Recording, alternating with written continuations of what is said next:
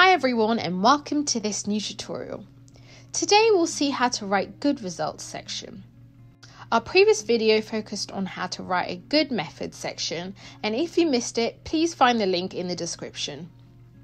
Today we'll mainly focus on how to write a good results section by covering the following aspects: expressing sequence, frequency, quantity, and causality.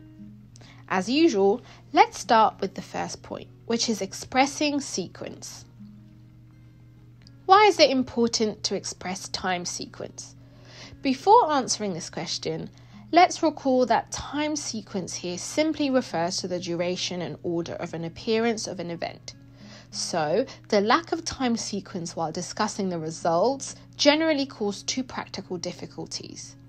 The first one is that when reading your paper, other researchers will have a hard time repeating your work with a decent degree of accuracy.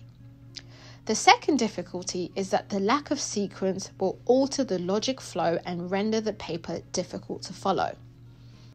How to overcome these two difficulties? Simply by using words and expressions that communicate time sequence. We'll see an example later. Keep in mind that the key is to give the reader a clear understanding of your work to the extent of repeating it without difficulties. As long as you do that, you're good. Let's move on to the second point, which is expressing frequency. Here also, there are two main difficulties. The first one is to communicate how often a particular event or results occurred. The second one is all about enabling your readers to compare the results with yours. This is achieved via using frequency modifiers. We'll see how to use them in the next slide. Regarding the third point, which is expressing quantity, the principle remains the same. In other words, while commenting your results, specific expressions must be used to influence the way readers perceive your work. Let's see how it's done in practice. Underlined in red, you have some expressions that telegraph quantity. Similarly, in blue, we have some expressions that communicate sequence, while in green, we have a word used to express frequency. Basically, this is how it works. Just spend a few more minutes on these examples, it's quite easy to understand. This brings us to the last critical aspect of the results section, which is expressing causality. The main difficulties are indicating connections or relationships between specific events and establishing causal connections between them. The key here is to use verbs or expressions that communicate causal connections, such as be related to, be triggered by. At the end of the day, your results section must integrate the following components. Again, we're using this example to show you how the authors managed to integrate them into their results section.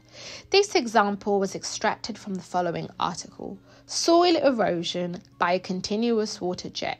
Feel free to download it if necessary. In the first component, the thing to do is to revisit the research objectives. This is what the author did here in yellow. After that, you should expand the methodology. This is what was done here in green. Then you should present a general overview of the results. This is what they did here in red. The second component, the first step is to invite the readers to view results. This is what they did here in blue. The second step involves providing more details about your results. Then, the third and fourth steps of the second component involve comparing your results and model with results in other research. The third component is about discussing possible problems with your results, while the last component is about presenting possible implications. Well, now let's see what you should do and you shouldn't do in the results section. Obviously, you must illustrate the results with graphs and tables. Then you should focus on singularities of the findings and stress the practical relevance of the results. Don't just describe obvious facts that the reader can see by himself or herself from your curves. This is not good practice. After completing this stage, you can tell yourself you're almost there, then move to the next section that is discussion and or conclusion. We'll discuss this part in the next video. That's all for today. Hope you've learned something from this video. Check out our next video and don't forget to subscribe. Thank you.